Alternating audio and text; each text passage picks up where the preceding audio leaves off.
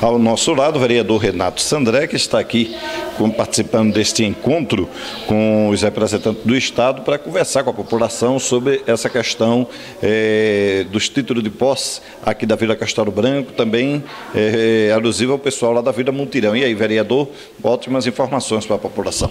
Sérgio, nós hoje, graças a Deus, recebemos dois secretários do Estado, o senhor Bruno Lisboa, que já tem lutado muito por essa questão, e o mais importante, que é o presidente do PERPART, que é o senhor Newton Mota. E hoje estão assinando um convênio onde as duas secretarias irão trabalhar em conjunto para conseguir esse tão sonhado e desejado título de posse dos cidadãos da Vila Castelo Branco e da Vila Mutirão. Então hoje a gente está saindo feliz, eles vão iniciar na próxima semana um cadastro social e a gente acredita que no mais tardar no início do ano que vem as posses serão entregues a todos os moradores dessas duas comunidades. Estamos ao lado de Bruno Lisboa, aqui na Vila Castelo Branco, precisamente na capela da Vila Castelo Branco, onde hoje está acontecendo uma reunião onde o mesmo veio tratar sobre a regularização fundiária com os moradores desta localidade. Ele está aqui ao nosso lado para falar um pouco mais sobre o assunto. Bom, a partir de hoje, né, nós estamos iniciando um processo e tornando realidade um velho sonho daqui da Vila Castelo Branco. A gente, a partir de hoje, nós estamos iniciando um trabalho que é de regularizar, ou seja, dar o título de escritura definitiva a todos aqueles que, que moram aqui na Vila Castelo Branco. Vão ser quase 25 hectares de área que vão ser regularizadas através da SEAB e PERPART e todos aqueles que no final até o ano que vem, até o até o meio do ano que vem, certamente todos esses moradores aqui da vila estarão com seus títulos de escritura definitivos, dando assim maior segurança, maior cidadania a todos que moram aqui na vila na cidade de Goiânia, principalmente aqui na Vila Castelo Branco. É, Bruno é presidente da companhia pernambucana de habitação. Quantas pessoas, quantas famílias deverão ser beneficiadas e qual o custo para cada família poder adquirir esse, esse, essa posse? Olha, cada, nós estamos não somente aqui, Sérgio, na Vila Castelo Branco.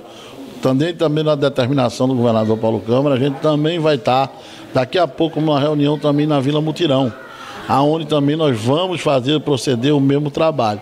Juntando essas duas, essas duas comunidades, nós vamos estar atendendo quase mil famílias.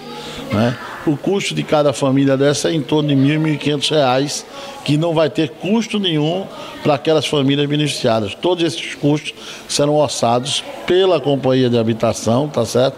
É um grande sonho de todas essas comunidades que o governo, o governo do estado, através da SEAB, vai tornar realidade para você, goianense, principalmente da Vila Castelo Branco e da Vila Mutirão. Estamos ao lado do, do presidente da Perparte, o senhor Milton Mota, que veio aqui trazer uma excelente notícia para a população da Vila Castelo Branco e, consequentemente, também da Vila Mutirão. É, bom dia, bom dia ouvintes, mais uma vez uma satisfação de voltar aqui a Goiânia. Né? E hoje a nossa presença aqui é justamente junto com o presidente da SEAB, o doutor Bruno Lisboa, né, secretário do governador Paulo Câmara, né, de assinar um acordo de cooperação técnica. E o que é que significa isso? É, nós temos na Perparte uma área aqui de propriedade da Perparte, que é aqui essa região aqui do Castelo Branco e do Mutirão. E aí a gente veio fazer um processo, iniciar um processo de regulação fundiária.